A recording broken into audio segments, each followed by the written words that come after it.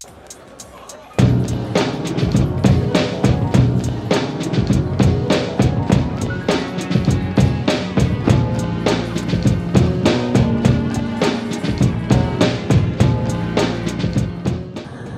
your hands up at all times.